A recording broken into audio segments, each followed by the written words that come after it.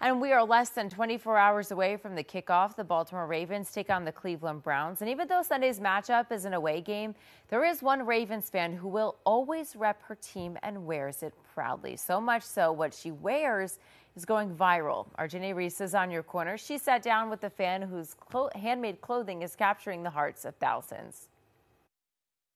Mrs. Kim Dews is a big Ravens fan.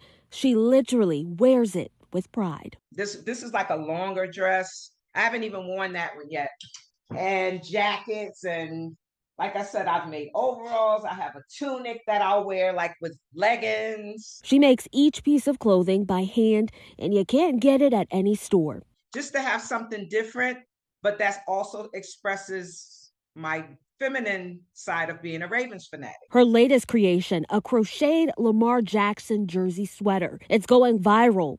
Nearly a million people have already seen her wearing it on her daughter's social media post. I can't sell it, but I would make one and give it to Lamar Jackson's mom if she wants one. How did you get started making Ravens gear?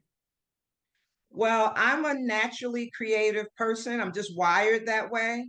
So what you see is the combination of a crochet, sewing, creative, crazy person combined with being a Ravens fanatic.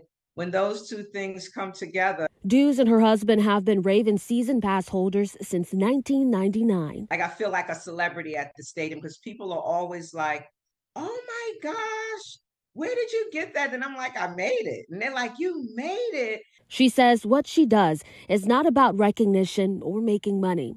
It's about sharing a love for football and the Ravens. Keep doing what you're doing. We are behind you 100%, and we are proud. Reporting on your corner, I'm Janae Reese for CBS News Baltimore.